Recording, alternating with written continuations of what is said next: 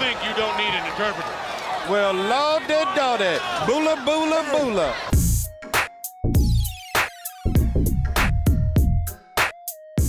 As the year 1996 begins to come to a close, things are going great for World Championship Wrestling as we are in the throes of the first act of the New World Order saga. Attendance rates are up, ratings are on the rise, merchandise sales, of course, going through the roof with the NWO shirt. So things are very much clearly good for this storyline at this point. We have not reached the point of oversaturation or jumping the shark or any of that. But at this point, we are about to embark on the most pivotal point of Act 1 of the NWO angle as we reach the end of Stingtember.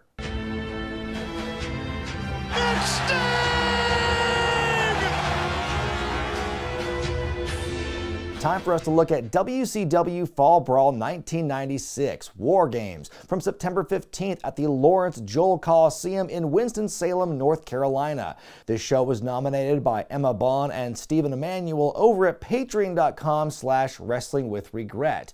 At this point, the NWO has truly taken over. Hogan turned in July at Bash the Beach, won the title one month later at Hog Wild to face the World Championship with the spray paint, and then the question became who would the fourth member of the NWOB as we head toward the War Games match at Fall Brawl. Well, on an episode of Nitro, we began to get some answers. First, when Ted DiBiase showed up, we would find out he was the financial backer of the NWO. And then the week after DiBiase appears, the Giant turns on the Dungeon of Doom and becomes the newest member. The funniest part, though, is after that moment, the Giant gets on the headset mic as the NWO is taken over the announce uh, desk like they've often done, and the Giant begins to tell the story of how he took a trip to Hulk Hogan's house, and that's how he was swayed by the power of money and the NWO and everything. He's telling this big story that which is his motivation for his big betrayal, but Hulk Hogan interrupts him in the middle of it and wraps the promo up for them. And then after he's done talking, the giant keeps trying to tell the story. Man, I stood down at a table. So as the NWO is running roughshod, we have Sting and Lex Luger making an arrangement with the Horsemen. They say that since they also have War Games history, that Sting and Luger should fight alongside Flair and Arn instead of the other two Horsemen. So the partnership is formed. Then on the Go Home Nitro, Lex Luger is assaulted by a man purported to be Sting out in the dark and the rain. It's a betrayal the announce team is putting over with the seriousness of a close loved one having just died. How could he? How could Sting, who is considered the vanguard of WCW, the one guy who at this point has never left the company, who's WCW through and through. How could he do this and take DiBiase's money like this? Well, we'll get our answers to that in a little bit. One more thread in the story sees WCW referee Nick Patrick making a lot of controversial calls that all seem to benefit the NWO and hurt the WCW guys, and so his integrity is being called into question. I like the fake out they do in the build where he's chased out of the arena. Looks like he's going to dive into the NWO limo, but he actually runs somewhere else, just keeping the mystery alive. So I have to admit, I've never actually watched any of the build or Fall Brawl 96 before this stuff. You know, I came into wrestling a year and change after this in 1998, so I missed really the, the peak of the NWO during their rise. I'd seen, you know, WWE's documentary about the NWO, and so I got a bit of a glimpse of it, and I've read, you know, the, the brief synopsis of what happens in this in this uh, arc, but I've never actually seen it with my own eyes. And so, removing all of the hindsight and kind of thinking of what you know happens with the NWO in the long term, just watching this stuff for the first time and putting myself in that mindset of a kind of a relatively new wrestling fan, like this is some really entertaining stuff. This storyline and the mystery and the intrigue has all been really well done at this point. Like the the combination of you know Eric Bischoff and Kevin Sullivan and Dusty Rhodes all kind of working together for the creative and building this angle so far has been just expertly done. And I'm you know again again knowing what's happening or what's come ahead, but also kind of like shutting that part of my brain out. It's fun to sit and watch these shows week to week and kind of revel in the intrigue and the mystery of what's going on. 11,300 folks at the arena tonight, 230,000 pay per view buys, way up from 95,000 the previous year, earning the show a 0.65 buy rate. Tony Schiavone, Dusty Rhodes, and Bobby Heenan on commentary. I love the opening spiel by Heenan here, putting over the Horsemen and their history in war games. He says the NWO could see its last wrestling match, and they say it's a war like never before. Great stuff. Opening matchup sees Diamond Dallas Page taking on a young Chavo Guerrero Jr. here. Chavo fighting for the honor of his uncle Eddie, who is out of action for the time being because Eddie and DDP had been feuding over the Battle Bowl ring. DDP taking Eddie out of action, so Chavo looking for revenge here. Page immediately gets tied up in the ropes, taking a drop kick and a tumble to the outside. Chavo producing a strap from somewhere and whipping Page with it. The referee's letting all this go. At one point in the matchup, when one of the announcers references Eddie, uh, you hear Bobby Heenan jump in saying, Nelson Eddy, and I had to look up who that was because I didn't get the reference. And it's uh, it turns out Nelson Eddy was like a show tunes singer in the 40s and 50s and in movies. He died in 1967, and the fact that Bobby Heenan just had that reference like ready to go at the mere mention of someone saying Eddie, I thought was pretty phenomenal. That feels like very much like an RJ City kind of reference today. DDP falls into the ropes again, but plays possum, allowing Chavo to make a mistake, and DDP takes over. Big flying clothesline to a big response from the crowd. DDP is the heel in this matchup, but the fans are loving him regardless. Page at one point just throwing Chavo backward over his shoulder. DDP suddenly doing this pelvic thrust in Chavo's face, which is weird, but Chavo fights back. Page slips on a banana peel. Guerrero begins to fire off. Page cuts him off, throws Chavo from one ring to the next, and they just fight in that ring now. That's unique. Guerrero with a lot of close calls. DDP catches him with a big old power bomb and a very close kick out. Page counters out of the backslide, hits my favorite move on the planet, the Diamond Cutter, for the win. Four stars out of five on this one. I was like, you know, I might rate this kind of high, but I just loved what I saw in this one. You know, I think this match had everything. There was a bit of comedy in there. I think there was some good back and forth.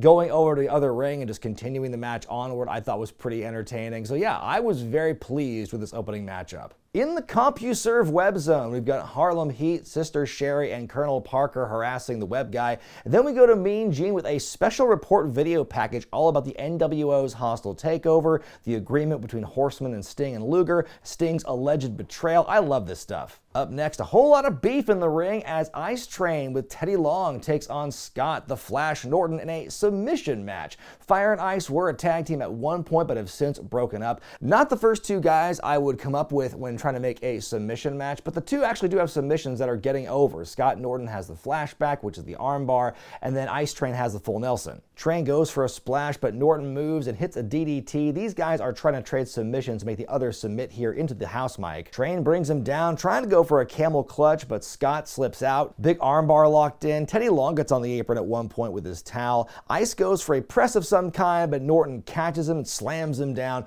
puts him into a Boston Crab and back to the armbar. Long's back up on the apron a couple more times. Norton finally has enough and grabs him, but Ice Train with the cheap shot then locks in the full Nelson. Norton taps out and Ice Train wins. I give it one and a half stars out of five. I liked the power on display between these two guys. I love matches like this where it's two powerhouses just colliding into each other. That stuff was fun, but then when they tried to get into the submissions, I wasn't very much into it, and you could tell the fans weren't very much either. So, you know, it was kind of a boring match until that finish happened when Long keeps getting up on the apron. Mike has joined the announced team to give us some lucha con context as we go to the Mexican Heavyweight Championship match, Konnan defending against Juventud Guerrera. Konnan, who does not come out with the belt, has changed up his look and has joined the Dungeon of Doom now. Young Juventud, a recently debuted star for WCW, and look at him trip on the steps on the way to the ring. Poor kid. Konnan picks up Juvi and just throws him out of the ring. Juvi responds with a triple jump from ring to ring into a rolling dive. Holy crap. Tope to the outside. He leaps off the railing, goes for a Hurricane Rana, but Konnan powerbombs him on the floor. Jimmy Hart going, Arriba la raza, baby! oh my god, that woman in the front row is getting so into this one. Konnan continues the heat on Juvi, going from one ring to the next. An attempt was made. Another dive off the top rope by Juventud. K-Dog just back body drops Juvi into the other ring ropes, then power bombs him back in. My lord. Fighting moves to the outside apron. Juvi trying to go for a sunset power bomb off the shoulders for Pete's sake, but Konnan stops it, hits a dropkick off the apron. Juventud putting Konnan on the turnbuckle. Unnecessary backflip, then takes a drop kick. That was smart. Konnan catches a wheelbarrow attempt and just flings him onto his back. Juvi responds with a somersault leg drop. Konnan's in the ropes and the pinfall, and Juvi just yells. A 450 splash followed by a tornado splash. Both are somehow kicked out of. Konnan catching Juvi hits the Alabama slam. A nasty looking muscle buster by Konnan. Hits what's called the power drop. This looks like a razor's edge with some extra juice. And finally wins. I give it three and a half stars out of five. There were some really fun moments in this matchup here, but there were also a lot of uh, chaotic moments and some slip ups leading to some of those great moments as well. And so, also, there were points in the match I thought kind of dragged um, when you didn't have some of those big things happen, kind of put the crowd uh, to sleep for a bit. But besides that, it was still a solid match. In a match I feel like just reviewed a few weeks ago, it's time for a match between the two Chris's, Benoit of the Horsemen and Jericho making his WCW pay per view debut. Jericho debuted on Nitro a couple of weeks before this, making his WCW foray, and he's booked as a very much a white meat babyface in this one. It's almost when you look at like when you do put hindsight into account with Jericho, seeing him in this phase as this plucky young babyface who always wants to win the right way. It's really funny to see that evolution just like a year or two later. Because here in his first match against Alex Wright on Nitro, he's got the matchup won by countout after Alex seems to hurt himself. But Jericho's like, no, no, I don't want to win that way. So just throw the match out entirely. And so, man, what a dork. The two start things out intensely. The announcers bring up the history these two have pre WCW. Benoit getting big cheers for everything in Horseman country. Benoit putting Jericho in the Lion Tamer. Jericho comes hits his triangle dropkick, then what I think is a triangle back elbow, but the bump looks horrible. How does he not dislocate his shoulder there? Jericho goes, yeah, and gets booed. Nice suplex, but Benoit's legs are in the ropes. Jericho tries to suplex Benoit out of the ring, but it's blocked and he gets tossed out himself. My stars and garters. Benoit hitting one of the biggest diving headbutts I've ever seen, and we get a two count. The physical action continues in and outside the ring. Jericho with some pinfall attempts. Benoit keeps kicking out. The tombstone is countered and Benoit is dropped. Chris goes for the Lionsault, sees the miss coming, and hits a clothesline. Dusty saying on commentary Jericho's going to be a big star in WCW. Well, Dust was half right. Jericho's crotch on the top turnbuckle, big back suplex off the top by Benoit, and the crippler wins. Four stars out of five for me on this one. It's a damn good matchup here. And Jericho being so new in WCW, this is a great showcase for him here. Only three weeks into his time on TV and everything. And with him and Benoit having that history, they've got a great chemistry here. And it really just showcases both of them excellently. And so it's a great sign of things to come for the future of this rivalry through the years. The great mid-card action continues in a match with the WCW Cruiserweight title as Rey Mysterio defends against AAA's Super Calo. Tenay is back in the booth here, starting out with some fast-paced back and forth. Mysterio with an advantage until Calo bounces Rey off the top rope and hits a powerbomb. Calo dives off the top turnbuckle, hits a missile dropkick on the floor, then follows up with a freaking senton to the outside on the floor. Yuck. Back in the ring, ring. Calo with a top rope twisting head scissors, bending Rey backward with the surfboard stretch. Mysterio collides into Calo. Bit of help from the referees needed to get the challenger over the top rope. Mysterio comes back with a dive. A springboard by Rey, intercepted in midair.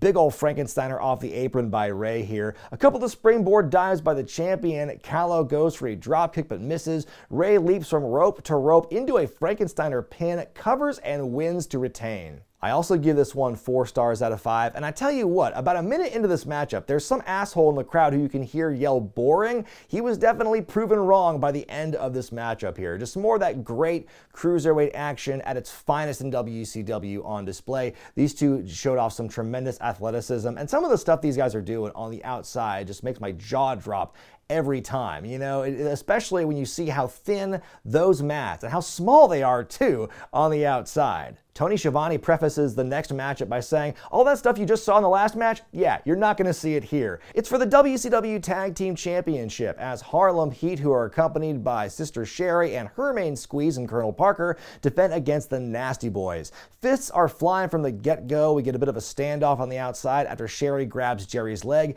Big nasty chant from the crowd here. Knobbs and Sags are clubbering Stevie Ray in the corner. The Nasties just lay into Booker T for a while as Sherry screams about the officiating. They want to take Booker to Pity City, but Martel gets involved, allowing for Stevie Ray to hit the cheap shot. Big kick to the mush from Stevie to Knobbs. Now Sister Sherry on the outside getting some shots in. Sags chasing her through the ring at one point. Jerry gets the tag in, goes on a big run against the champs. He finally gets his hands on Sherry and brings her into the ring as Dusty shouts, Come in here, my little fried pie! Hits a pile driver, goes up top, but Colonel Parker trips him up. Sags stalks the Colonel, but Stevie just whomps him on the outside.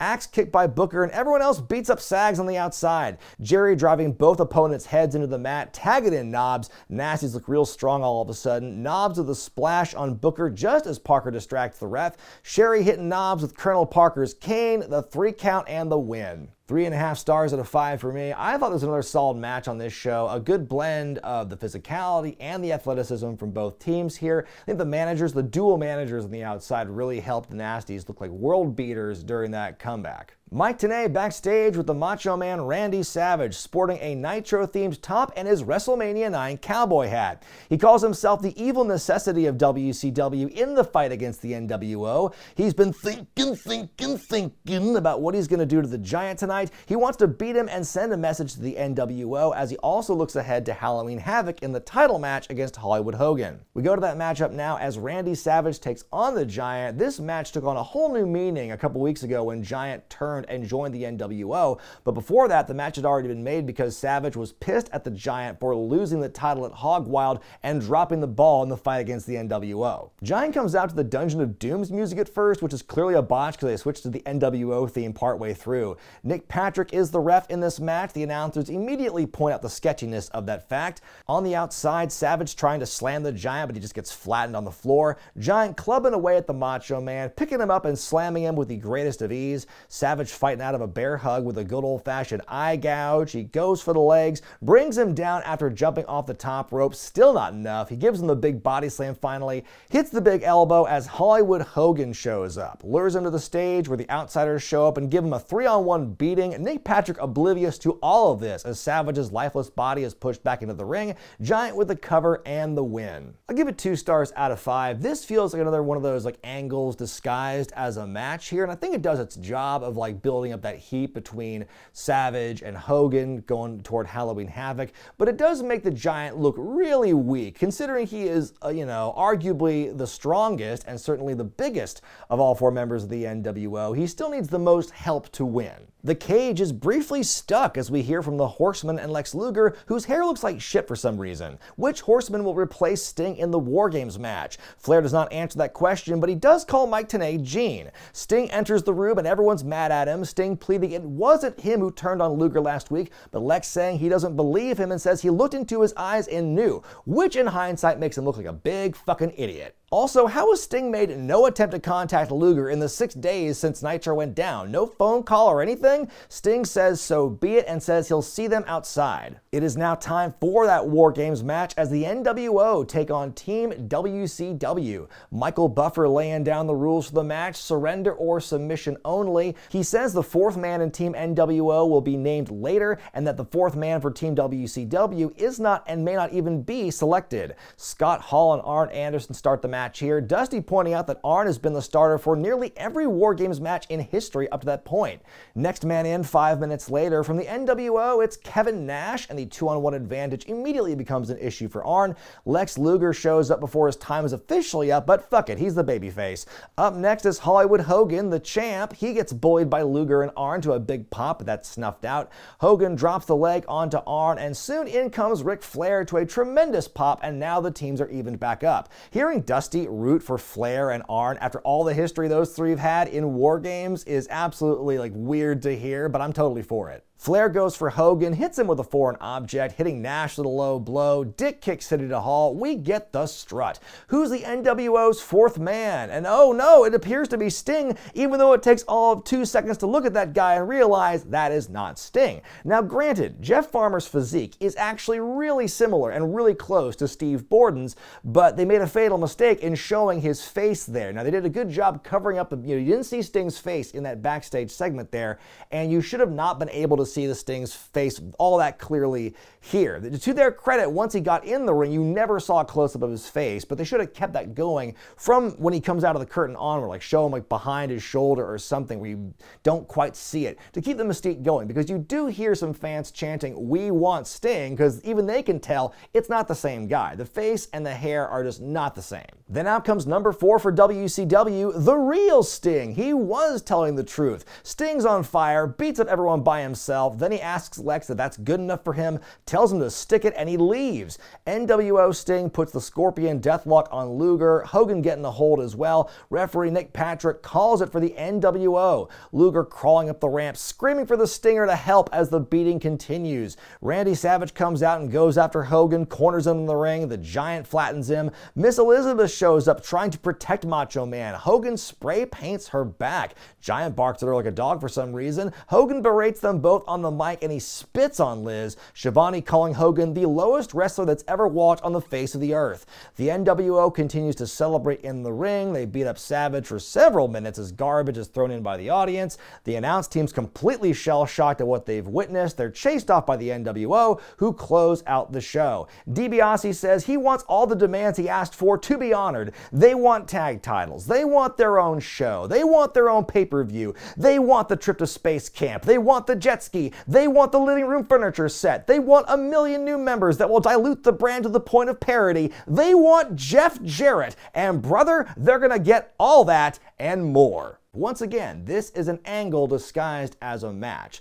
The in-ring action for this one is not going to compare to the drama you would see once you go into the match beyond in other iterations of War Games. That's not what this is about. It's about the story of Sting, his, his feelings being hurt by the lack of trust from other WCW wrestlers, and that twist of the fake Sting being revealed as, even though they kind of botched it a little bit, still a very good twist just from an execution standpoint and like showing that Sting was telling the truth, and now he has like no allegiance because he's obviously not Team NWO, but he's also not Team WCW at this point. So, like, whose side is he on? That is an answer we're not going to really get for many, many more months. This is the beginning of Sting's 18 month absence from the ring before Starcade 97. And of course, how that all gets resolved is, well, certainly another story which I've talked about at length in other videos. My grade for WCW Fall Brawl 96 is an A minus. This is an excellent show. I mean, most, if not all, of the mid card is really entertaining and action packed.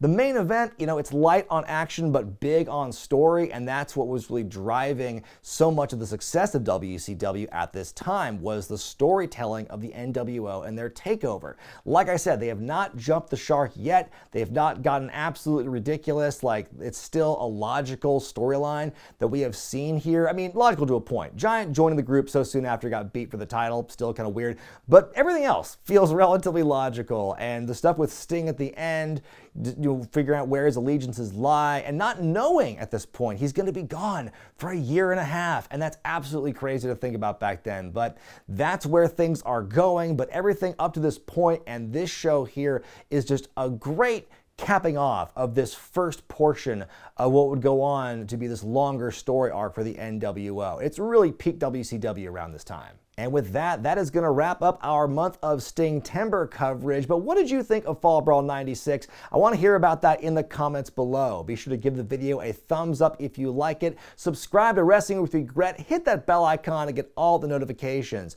In two weeks, we are back here on the Classic Review looking at an October classic in No Mercy 2002.